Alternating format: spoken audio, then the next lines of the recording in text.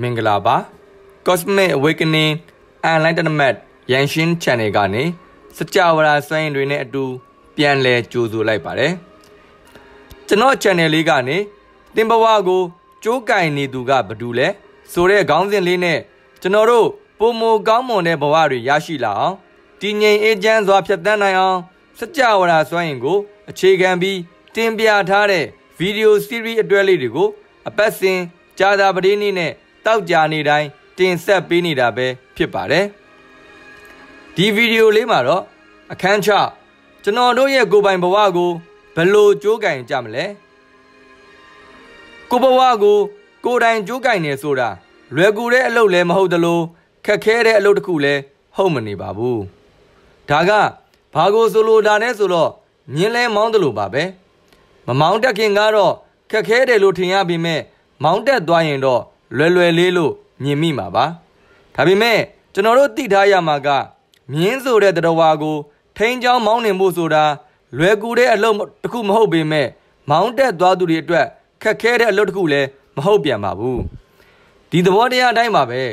ကျွန်တော်တို့ဘဝမှာထိန်းချောင်းရခက်တဲ့တရဝါတကောင်ကိုကြိုးပေါင်းများစွာနဲ့ထိန်းချုပ်မောင်းနှင်နေရတယ်မဟုတ်ပါလားအဲ့ဒီတရဝါကအင်မတန်မှမကောင်းတဲ့အရာတွေ သိကြိုက်နှစ်သက်လေရဲ့အထူးသဖြင့်ပြင်းရည်ခြင်းအချိန်ဆွဲခြင်းအာရော့ခြင်းမကောင်းမြင်ခြင်းအတွေးလွန်ခြင်း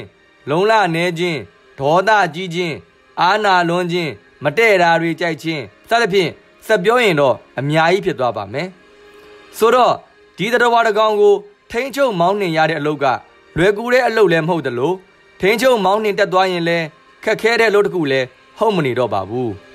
ထိန်းချုပ်မောင်းနှင်နည်းတွေကိုတော့နောက်ပိုင်းဗီဒီယိုတွေမှာဆက်ပြီးတင်ဆက်ပေးသွားပါဦးမယ်ကျွန်တော်တို့ဘဝကိုကြိုးကင်နေဆိုတဲ့နေရာမှာ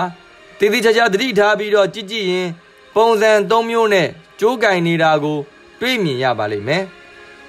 နံပါတ်1ကိုဘဝကို ကိုယ်တိုင်ကြိုးကင်နေကြတခြားသူတွေသိအောင်နေခြင်းနံပါတ်2ကိုဘဝကို ကိုယ်တိုင်ကြိုးကင်နေပေမဲ့ နောက်ွယ်မှာပဲနေခြင်းနံပါတ်3တခါတရံရှေ့ထွက်တခါတရံနောက်ွယ်မှာနေခြင်းဒီလိုပုံစံ၃မျိုးထဲမှာမှတမျိုးမဟုတ်တမျိုးကကျွန်တော်တို့ဘဝကိုကိုယ်တိုင်ကြိုးကင်နေရတဲ့သူတွေလူတိုင်းနီးပါးလှုပ်လေလှုပ်ထရှိတတ်ပါတယ်ဘလို့အခြေအနေမျိုးတွေမှာဘလို့ပုံစံတွေနဲ့ထွက်လာလေးရှိတယ်လဲကြည့်ရအောင်ပါနံပါတ်1ပုံစံကကိုကိစ္စတွေ ကိုပြဿနာတွေကိုဒုက္ခတွေကိုဘာသာကိုဖြေရှင်းမယ်ဘဒုအကူအညီမှဒါမှမဟုတ်ဘဒုကိုမှဒီအကြောင်းအရာတွေမပေးဘူးဒုက္ခမပေးဘူးဆိုတဲ့အချိန်တွေကိုလန်းကိုလျှောက်တယ်ကိုဥတီချက်ကိုပန်းတိုင်းကိုတိုင်သတ်မှတ်တယ်ဘသူတွေကတော့လက်တွဲတင်တဲ့သူတွေဘသူတွေကတော့ရှောင်တင်တဲ့သူတွေဆိုတာကိုတိုင်ဆုံးဖြတ်တယ်စားတဲ့အချိန်တွေမှာပေါ်လာလေရှိတတ်ကြတယ်အထူးသဖြင့်တော့အတ္တဟိတကို ရှေ့တန်းတင်တဲ့သူတွေမှာအတွေ့ရပါတယ်။နံပါတ်1ပုံစံကကိုဘဝမှာလှုပ်ရှားကိစ္စတွေဥတီချက်တွေဆုံးဖြတ်စရာတွေများပြားလာတဲ့အခါမှာကိုဘဝတဲကတချို့တိတ်ရေးမကြည့်တဲ့ကိစ္စလေးတွေကိုတခြားသူတွေကိုလှုပ်ခိုင်းလိုက်ပြီးတော့ကိုကသူတို့ကိုဘလို့လို့ဘလို့စဉ်းစားဘလို့ကင်တွယ်စသဖြင့်ဂိုင်လိုင်းပေးပြီးတော့လှုပ်ခိုင်းတဲ့အချိန်တွေအရန်အရေးကြီးတဲ့ကိစ္စတွေကို ကိုယုံကြည်စိတ်ချရတဲ့သူတွေကိုလှုပ်ခိုင်းလိုက်ပြီးသူတို့ကိုဂုံပြုတ်ပေးလိုက်ပေမဲ့တကယ်အစဉ်ပြေပြီးအကျိုးရှိသွားတာက ကိုဖြစ်နေတဲ့အချိန်တွေမှာပေါ်လာလေရှိတတ်ကြတယ်အထူးသဖြင့်တော့ပရာဟိတကို ရှေ့တန်းတင်တဲ့သူတွေမှာအတွေ့များပါတယ်နံပါတ်3ကတော့အတ္တဟိတလည်းမဟုတ်ပရာဟိတလည်းမဟုတ်ဘယ်အချိန်မှာတော့ရှေ့ထွက်ဘယ်အချိန်မှာတော့နောက်ွယ်မှာနေစတာတွေကိုသိရှိနားလည်ပြီးတော့ ကိုဘဝကိုကိုကိုတိုင်းကြိုးကင်မောင်းနှင်နေတဲ့သူတွေဖြစ်လေရှိကြပါတယ်ဒီပုံစံ၃မျိုးကို နားလည်သွားရင်ကုမ္ပဏီတစ်ခုကိုဥဆောင်နေတဲ့ CEO လို့ခေါ်တဲ့အမှုဆောင်အရာရှိချုပ်ကို ကျွန်တော်တို့တွေးမြင်မိပါလိမ့်မယ်ကုမ္ပဏီတစ်ခုမှာ အမှုဆောင်အရာရှိချုပ်ကတခါတရံရှေ့ထွက်ပြပြီးကုမ္ပဏီရဲ့ရှေ့ဆက်အလားအလာတွေရည်မှန်းချက်တွေပန်းနိုင်တွေကို ထုတ်ပြောမယ် တချို့ကိစ္စပြဿနာကြီးကြီးမားမားတွေဖြစ်လာရင် ကိုယ်တိုင်ထွက်ရှင်မယ်ဒါပေမဲ့အချိန်အများစုမှာတော့ကုမ္ပဏီတစ်ခုလုံးကို နောက်ွယ်ကနေပဲထိန်းချုပ်ကင်တွယ်နေတာမဟုတ်ပါလားဒါဆိုကျွန်တော်တို့ဘဝကိုကျွန်တော်တို့ကိုယ်တိုင်ကြိုးကင်နေရတဲ့သူတွေဖြစ်နေမယ်ဆိုရင်ကျွန်တော်တို့ကလည်းကျွန်တော်တို့ဘဝရဲ့ CEO တွေဖြစ်နေတာပါပဲဒါဆိုကျွန်တော်တို့ဘဝကုမ္ပဏီမှာဘလို့ဌာန department တွေနဲ့ဖွဲ့စည်းထားမလဲ ဘလို့ဌာနတွေရဲ့အောက်မှာဘယ်ဌာနခွဲ function တွေနဲ့အားဖြည့်ထားမလဲဘလို့လူတွေကိုအလောက်ခံထားမလဲဆိုတာတွေကိုဆက်ပြီးတော့ကြည့်ရအောင်ပါဗျာကျွန်တော်အတက်နိုင်ဆုံးနားလည်လွယ်အောင် ဖြည်းဖြည်းချင်းရှင်းပြမှာဖြစ်တဲ့အတွက်အားလုံးစ조사ပြီးတော့ like နားထောင်ပေးကြပါပုံလေးတွေကိုလည်းတည်တည်ချာချာကြည့်ပေးကြပါဒါဆိုလို့ရှိရင်တော့ကျွန်တော်တို့ရဲ့ဘဝကမ္ပဏီမှာဘယ်ဝန်ထမ်းတွေနဲ့ လှုပ်ဆောင်နေတယ်ဘလို့တာဝန်တွေယူထားကြတယ်ဆိုတာကို အားလုံးမျက်မြင်ကိုယ်တွေ့သဘောပေါက်နားလည်သွားမှာပါပထမဆုံးဌာနအနေနဲ့အိမ်မက်ဌာန Dream Department ရုပ်ပိုင်းဆိုင်ရာဌာန Physical Department စိတ်ပိုင်းဆိုင်ရာဌာန Mental Department ဆိုပြီးတော့ဌာန၃ခုခွဲခြားထားပါမယ်ဒီဌာနတစ်ခုချင်းစီအတွက် အိမ်မက်ဒါရိုက်တာ Dream ဒါရိုက်တာရုပ်ပိုင်းဆိုင်ရာဒါရိုက်တာ Physical ဒါရိုက်တာစိတ်ပိုင်းဆိုင်ရာဒါရိုက်တာ Mental ဒါရိုက်တာဆိုပြီးဒါရိုက်တာ3ဦးခန့်ထားဖို့လိုပါမယ်ဒီပုံလေးကိုကြည့်လိုက်ရင် ရှင်းသွားမှာပါဟုတ်ပြီဒါဆိုရင်ဒီဌာနတွေရဲ့အောက်မှာဌာနခွဲလေး6ခုကိုထပ်ထားဖို့လိုပါမယ် Dream Department ရဲ့အောက်ကဌာနခွဲနှစ်ခုအနေနဲ့လေးလာမှုဌာနခွဲ Learning Function နဲ့တွန်းအားဌာနခွဲ Encourage Function ဆိုပြီးတော့ဌာနခွဲနှစ်ခုခွဲထားပါမယ် Physical Department ရဲ့အောက်ကဌာနခွဲနှစ်ခုအနေနဲ့ကျန်းမာရေးဌာနခွဲ Health Function လုံဆောင်မှုဌာနခွဲ Action Function စသဖြင့်ဌာနခွဲနှစ်ခုထပ်ပြီးတော့ ခွဲထားပါမယ်။ Monday Department ရဲ့အောက်က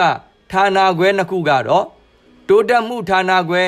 Development Function စေချမ်းသာမှုဌာနခွဲ Well-being Function စတဲ့ဌာနခွဲအသေးနှစ်ခုကို ကျွန်တော်တို့ခွဲခြားထားလိုက်ပါမယ်။ဒါဆိုဒီဌာနခွဲတစ်ခုချင်းစီမှာမန်နေဂျာတယောက်စီခန့်ဖို့လိုတာဖြစ်တဲ့အတွက် encourage manager learning manager head manager action manager development manager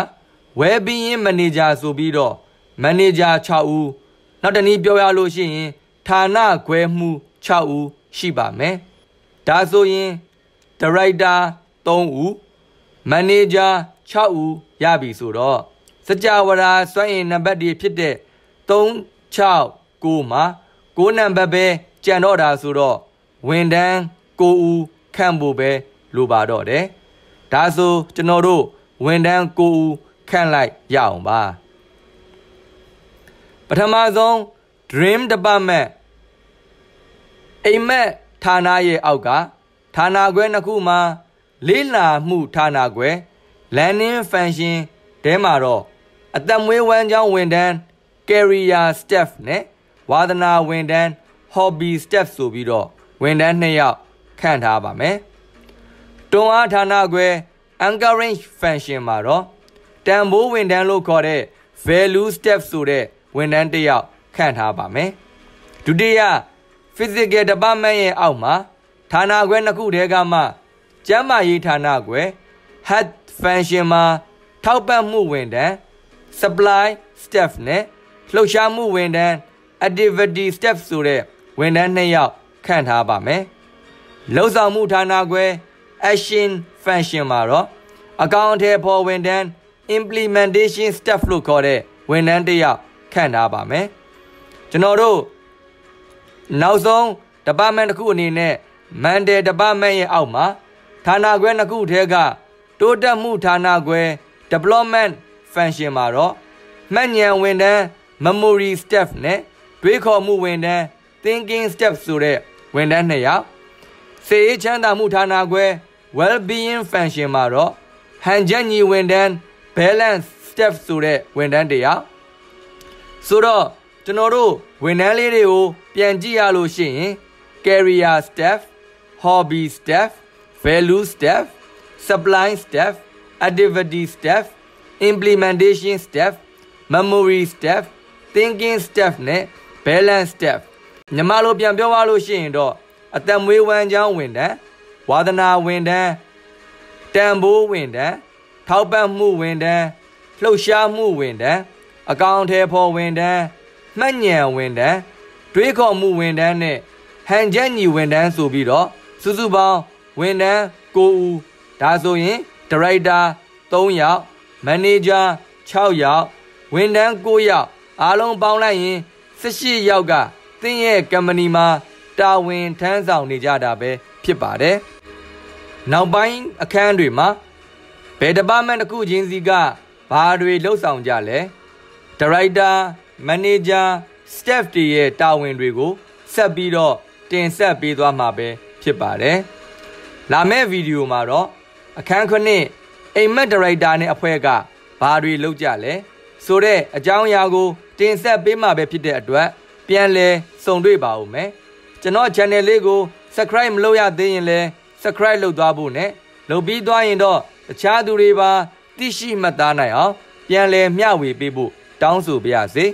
အပတ်စဉ်ဂျာသာပရိနေ့နဲ့တောက်ကြနေ့တိုင်းဗီဒီယိုအသစ်တင်သိနိုင်အောင်ခေါင်းလောင်းလေးကိုနှိပ်ပြီးအော်လေးကိုရွေးထားဖို့လဲလိုပါမယ်ဒီဗီဒီယိုလေးကိုလည်း like နှိပ်ဖို့နဲ့ comment မှာ ဆွေးနွေးသွားပေးဖို့ကိုလည်းမမေ့နဲ့လीနော်ဗီဒီယိုလေးကိုအဆုံးထိကြည့်ရှုပေးတဲ့အတွက်ကျေးဇူးတင်ပါတယ်တင်တို့မသိရှိသေးတဲ့စကြဝဠာကြီးတွေကစွန့်ရင်အကြောင်းတွေ